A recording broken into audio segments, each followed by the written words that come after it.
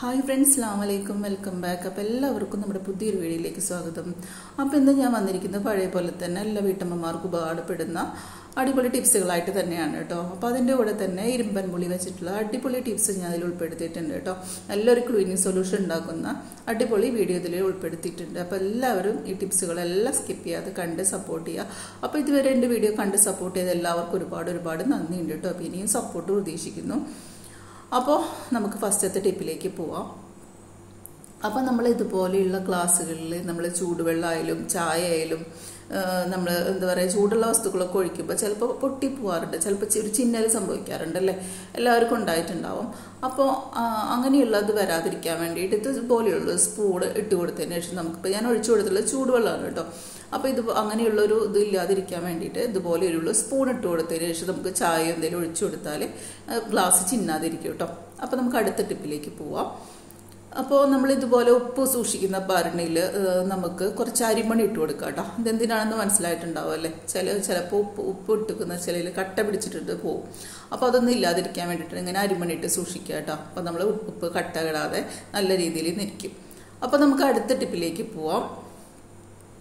നമ്മൾ ഇപ്പോൾ സ്കൂളൊക്കെ അടയ്ക്കാറായ കുട്ടികളുടെ സോക്സൊക്കെ നമ്മൾ കഴുകിയെടുത്ത് വെക്കും അല്ലേ? ചിലപ്പോൾ പുതിയത് പേടിക്കും എന്നാലും നമ്മൾ പേരുണ്ടെങ്കിൽ കുഴപ്പമില്ലാത്തുണ്ടെങ്കിൽ യൂസ് ചെയ്യാറുണ്ട്. അപ്പോൾ നമ്മൾ കഴുകി വാഷ് ചെയ്ത് കൊടുത്ത് അവിടെ ഇവിടെയൊക്കെ ഇട്ട് അതിന്റെ പേര് കാണാതാവും.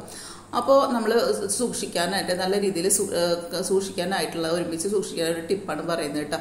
അപ്പോൾ കഴുകിയൊക്കെ വാഷ് ചെയ്ത് കൊടുത്തതിന് ശേഷം രണ്ട് ഇത് ഇതുപോലെ ഒരുമിച്ച് വെച്ചിട്ട് അടിഭാഗത്ത് നിന്ന് ക്ലോസ് ചെയ്തിരിക്കുന്ന ഭാഗമല്ലേ?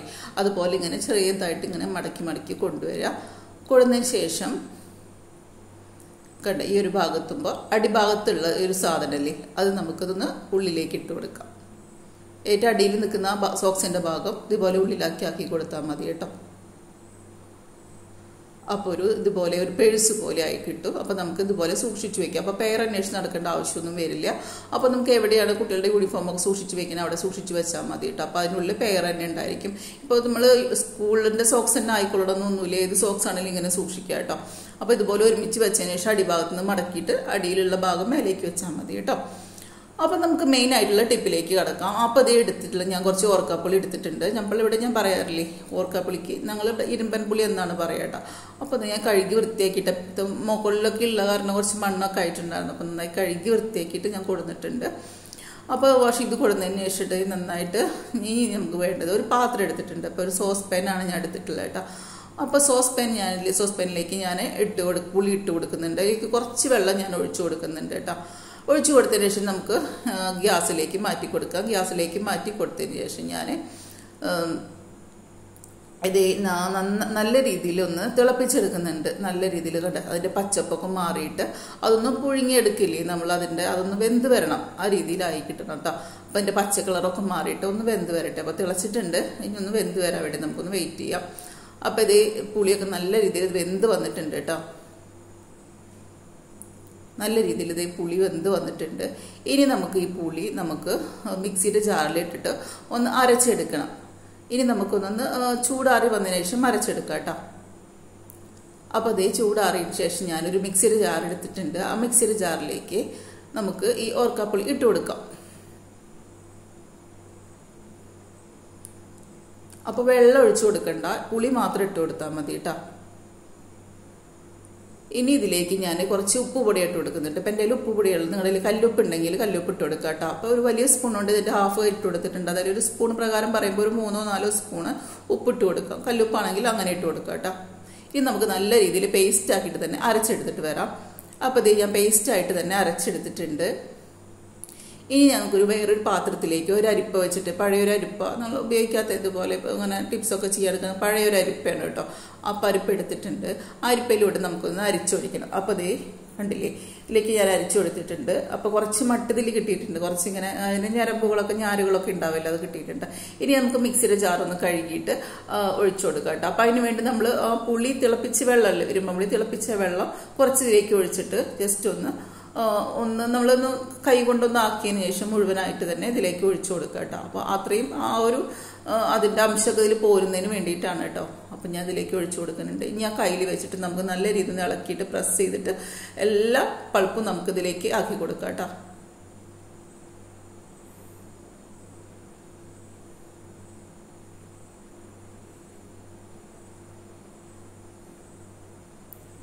അപ്പോൾ ഇത് ഞാൻ നല്ല രീതിയിൽ മിക്സ് ചെയ്ത് കൊടുത്തിട്ടുണ്ട് കേട്ടോ. അപ്പോൾ നല്ല നല്ല കട്ടിയിലുള്ള ഒരു പൾപ്പാണ് നമുക്ക് കിട്ടിയിട്ടുള്ളത്. ഇനി ഇതിലേക്ക് ഞാൻ ഇട്ട് കൊടുക്കുന്നത് ഇതേ സോഡാപ്പൊടിയാണ് കേട്ടോ. നമ്മുടെ വീട്ടിലെല്ലാവരും വീട്ടിലുണ്ടാവും. അപ്പോൾ അപ്പക്കാരം അപ്പ സോഡാപ്പൊടി എന്നൊക്കെ പറയുന്നത്. അപ്പോൾ രണ്ടോ മൂന്നോ സ്പൂൺ ഇതിലേക്ക് ഇട്ട് കൊടുക്കാം.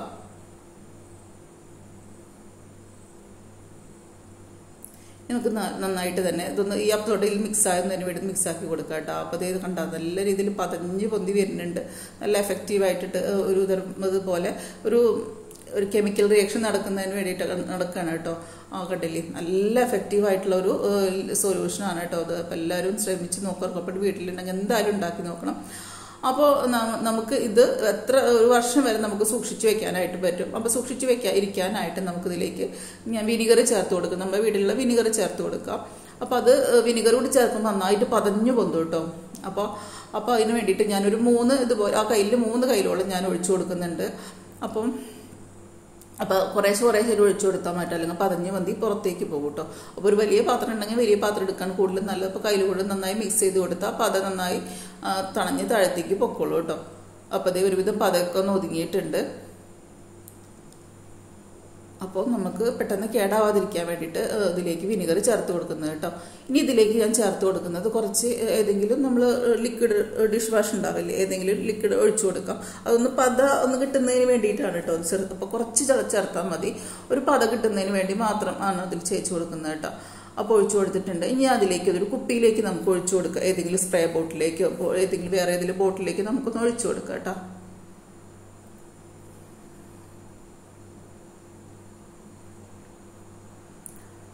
അപ്പോൾ ഏതി അത് ഇതുപോലെ ഒരു കുപ്പിയിലേക്ക് ഒഴിച്ചു കൊടുത്തിട്ടുണ്ട്. അപ്പോൾ ഇതിന്റെ കുപ്പിക്ക് ഇതുപോലെ ഹോൾസ് ഇട്ട് ചെറിയ ചെറിയ ഹോൾസ് ഇട്ട് കൊടുത്തിട്ടുണ്ട് കേട്ടോ.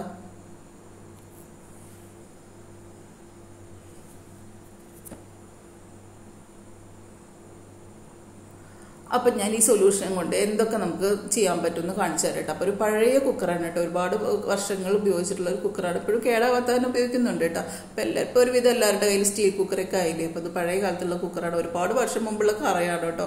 അത്യാവശ്യം ഇരുന്നിരുന്നിട്ടുള്ള നല്ല കറയുണ്ട് കേട്ടോ. അപ്പോൾ ഇതൊന്ന് എത്രത്തോളം നമുക്ക് ഇത് എഫക്റ്റീവ് ആണെന്ന് നോക്കാം. എത്രത്തോളം നമുക്ക് പോകുമെന്ന് നോക്കാം കേട്ടോ. അപ്പോൾ ഞാനിതേ കുറച്ച് തേച്ചിട്ട് വെക്കുന്നുണ്ട്. ഒരുപാട് നേരം വെക്കണമൊന്നുമില്ല. ഇതൊന്ന് തേച്ച് അപ്പുറത്തും ഇപ്പുറത്തൊക്കെ എല്ലാ ഭാഗത്തുനിന്ന് ആക്കി കൊടുത്തതിന് ശേഷം സ്റ്റീൽ കൂളർ ഉപയോഗിച്ചിട്ട് അല്ലെങ്കിൽ സ്പോഞ്ച് ഉപയോഗിച്ചിട്ട് നമുക്ക് കഴുകി കൊടുക്കാം. അപ്പോൾ അധികം നേരമൊന്നും ഞാൻ വെച്ചിട്ടില്ല കേട്ടോ. അപ്പോൾ വീഡിയോയ്ക്ക് വേണ്ടിയിട്ട് അധികം ടൈമില്ല ഞാൻ വൈകിട്ടാണ് വീഡിയോ എടുക്കുന്നത്. അപ്പോൾ അത് കാരണം അധികം ദിവസം വെച്ച് കൊടുത്തിട്ടില്ല. അപ്പോൾ നമുക്ക് എത്രത്തോളം ഈ ഒരു പഴയ കുക്കർ നമുക്ക് വൃത്തിയാക്കി എടുക്കാൻ പറ്റുമെന്നൊന്ന് നോക്കാം കേട്ടോ. അപ്പം ഞാൻ ഒരുപാട് സ്ട്രെയിൻ ചെയ്തിട്ടൊന്നും അരയ്ക്കണമൊന്നുമില്ല അപ്പോൾ ജസ്റ്റ് ഇതുപോലെ ഒന്ന് ഇതാക്കി കൊടുക്കുന്നുണ്ട്. തൊടുമ്പത്തിന് ഒരുവിധമൊക്കെ പോകുന്നുണ്ട് കേട്ടോ. പഴയ കറിയാണ് കേട്ടോ. അപ്പം അത്യാവശ്യം ഇതേ കണ്ടില്ലേ? കറിയൊക്കെ പോയിട്ടുണ്ട്. ഒരുവിധമൊക്കെ അങ്ങനെ ആയിട്ടുണ്ട് കേട്ടോ. ഒരുപാട് എന്താ പറയുക അത്രയും നാശാവാത്തൊരു കുക്കർ ആയതുകൊണ്ട് അങ്ങനെ ഉപയോഗിക്കുന്നു മാത്രമേ ഉള്ളൂ. അപ്പം അത്യാവശ്യം പഴക്കമുള്ള ഒരു കറിയായിരുന്നു കേട്ടോ. അപ്പം ഇത്രയും അത്യാവശ്യം ഇങ്ങനെ കൈ കൊണ്ട് തൊട്ട് നോക്കുമ്പോൾ പോയിട്ടുണ്ട്. ഇനി ഉള്ളിലൊക്കെ നമുക്ക് നമുക്ക് നന്നായിട്ട് തന്നെ ഒന്ന് കഴുകി കൊടുക്കാം കേട്ടോ. കണ്ടല്ലോ അത്യാവശ്യം ഇതായിട്ടുണ്ട്. ഇനി നമുക്കൊന്ന് വെള്ളം ഉപയോഗിച്ചിട്ട് നല്ല രീതിയിൽ ഒന്ന് കഴുകി കൊടുക്കാം കേട്ടോ. അപ്പോൾ അതേ കഴുകിയെടുത്ത് വന്നിട്ടുണ്ട്. അപ്പോൾ ഉള്ളിലൊക്കെ നല്ല രീതിയിൽ ക്ലീൻ ആയിട്ട് കിട്ടിയിട്ടുണ്ട്. കണ്ടില്ലേ? നേരത്തെ കാണിച്ചിരുന്ന കുക്കറും തമ്മിൽ നല്ല വ്യത്യാസം ഉണ്ടല്ലോ അല്ലേ? അപ്പോൾ അതേ ബാക്ക് ഭാഗം നമുക്കൊന്ന് കണ്ടു നോക്കാം. ഉള്ളിലൊക്കെ നല്ല രീതിയിൽ വൃത്തിയായിട്ട് നല്ല തിളങ്ങുന്നുണ്ട് കേട്ടോ. കണ്ടില്ലേ ഇത്ര ഏകദേശം ഒരു വിധമൊക്കെ പോയിട്ടുണ്ട്. നല്ല രീതിയിലായിട്ടുണ്ട്. അത്യാവശ്യത്തിന് അഴുക്കുള്ള ഒരു കുക്കറായിരുന്നു കേട്ടോ. അപ്പോൾ അത് ഇതുപോലെ രീതിയിൽ നമുക്ക് വൃത്തിയായിട്ട് കിട്ടിയിട്ടുണ്ട്. അപ്പോൾ കുറച്ച് നേരമൊക്കെ ലിക്വിഡ് ഒഴിച്ചിട്ട് നമുക്ക് വെയിറ്റ് ചെയ്യുക ഒരു പത്ത് ഇരുപത് മിനിറ്റ് ഒരു അരമണിക്കൂർ നമുക്കൊന്ന് കുതിരാൻ വെച്ചിരുന്നെങ്കിൽ കുറച്ചുകൂടി മുഴുവനായിട്ട് തന്നെ പോകുമായിരുന്നു കേട്ടോ. അപ്പോൾ എന്തായാലും ഇതുപോലെ പഴയ കുക്കർ അതുപോലെ അടി പിടിച്ച പാത്രങ്ങൾ നോൺ സ്റ്റിക്കിന്റെ പാത്രം അതുപോലെ നമ്മൾ കാസറോൾ ഫ്രൈ പാൻ ഒക്കെ ഉണ്ടാവില്ല. അതൊക്കെ ഇങ്ങനെ അടിയിൽ പിടിച്ച ഭാഗത്തൊക്കെ ഉണ്ടെങ്കിൽ ഫ്രൈ പാന്റെ അടിയിലൊക്കെ ഉണ്ടാവില്ല? ഇങ്ങനെ കട്ട പിടിച്ചുള്ളതുപോലെയൊക്കെ ഉണ്ടാവില്ല? അതൊക്കെ നമുക്ക് ഇതുപോലെ ലിക്വിഡ് ഉപയോഗിച്ച് കഴുകിയെടുക്കാം കേട്ടോ. ഇനി ഞാൻ അടുത്തതായിട്ട് കഴുകാനായിട്ട് പോകുന്നത് സിങ്കാണ് കേട്ടോ. അപ്പോൾ സിങ്ക് നല്ല രീതിയിൽ വെട്ടി തിളങ്ങും കേട്ടോ സിങ്കൊക്കെ അപ്പോൾ സിങ്കിലെ പൈപ്പും അതുപോലെ എന്താ പറയുക സിങ്കൊക്കെ വെട്ടി തിളങ്ങാൻ വളരെ ഉപകാരപ്രദമാണ്. അപ്പോൾ ഈ പൈപ്പിന്റെ മുകളിലേക്കൊക്കെ കുറേശ്ശെ ഒഴിച്ചു കൊടുക്കുക കേട്ടോ. അപ്പം വീഡിയോ എടുക്കുന്നതിൽ ചെറിയൊരു മിസ്റ്റേക്ക് പറ്റിയിട്ടുണ്ട് കേട്ടോ. അതാണ് മുഴുവനായിട്ട് കാണാത്തപ്പോൾ എല്ലാവരും സഹകരിക്കുക. എല്ലാവർക്കും മനസ്സിലാവുന്നുണ്ടാവുമെന്ന് കരുതുന്നു കേട്ടോ. അപ്പം ഞാൻ ഈ പൈപ്പിന്റെ മുകളിലൊക്കെ ഒന്ന് ജസ്റ്റ് ഒന്ന് ഒഴിച്ചു കൊടുത്തിട്ടുണ്ട്. അപ്പോൾ വെറുതെ ഒന്ന് സ്റ്റീൽ ബുള്ളോ സ്പോഞ്ചോ ഉപയോഗിച്ചിട്ട് നമുക്കൊന്ന് ഇതാക്കി കൊടുക്കാൻ വേണ്ടി നല്ല രീതിയിൽ വൃത്തിയായിട്ട് കിട്ടും കേട്ടോ. ആ സ്റ്റീലിന്റെ എന്താ പറയാ വെക്കുന്ന സ്പോഞ്ച് വെക്കുന്ന ഹോൾഡറും എല്ലാം നമുക്ക് വൃത്തിയാക്കി എടുക്കാം കേട്ടോ. ഇനി നമുക്ക് സിങ്കിലും ജസ്റ്റ് ഒഴിച്ചു കൊടുത്തിട്ടുണ്ടല്ലോ. അതൊന്ന് ജസ്റ്റ് സ്റ്റീൽ ബോർഡർ ഉപയോഗിച്ചിട്ട് കടലേ. ഇവിടെ തന്നെ ജസ്റ്റ് കാണുമ്പോൾ തന്നെ മനസ്സിലാവുന്നുണ്ടാവും. ഇനി നമുക്ക് വെള്ളം ഒഴിച്ചിട്ടൊക്കെ കഴുകി കൊടുത്തിട്ടുണ്ട് ഞാൻ അപ്പോൾ അതൊക്കെ ഒന്ന് കഴുകി വൃത്തിയാക്കുന്നത് അത് നല്ല രീതിയിൽ തന്നെ വൃത്തിയായിട്ടുണ്ട്. നല്ല തിളക്കം വെച്ചിട്ടുണ്ട് കേട്ടോ സിങ്കൊക്കെ അടിപൊളിയായിട്ടുണ്ട്. ഇത് നേരത്തെ നമ്മുടെ ഇനി അടുത്തേക്ക് കിടക്കാം കേട്ടോ അപ്പോൾ നേരത്തെ നമ്മൾ ഓർക്കപ്പുളി അഴിച്ചെടുത്തില്ലേ? വെറുതെ. ആ മിക്സിയാണ് കേട്ടോ കണ്ടില്ല. അപ്പ അടിച്ചെടുത്തേ തന്നെ നല്ല രീതിയിൽ ക്ലീൻ ആയിട്ട് കിട്ടുന്നുണ്ട് ഉൾഭാഗം. നല്ല തിളങ്ങുന്നുണ്ട് കേട്ടോ ഇനി നമുക്ക് മിക്സി ഒക്കെ ഉണ്ടെങ്കിൽ ഇതുപോലെ ക്ലീൻ ചെയ്തിട്ട് ഉൾഭാഗമാണെങ്കിലും കുറച്ച് ലിക്വിഡും വെള്ളം ഒഴിച്ചിട്ട് നമുക്ക് ഉൾഭാഗം ക്ലീൻ ചെയ്തിട്ട് എടുക്കാം. അപ്പോൾ ഇത് ഈ ബാക്ക് ഭാഗത്ത് കുറച്ച് ലിക്വിഡ് ഒഴിച്ചു കൊടുക്കാം. എന്നിട്ട് ഇതുപോലെ ഒരു ബ്രഷ് ഉപയോഗിച്ചിട്ട് നമുക്ക് ഒന്ന് ക്ലീൻ ചെയ്തിട്ട് എടുക്കാം കേട്ടോ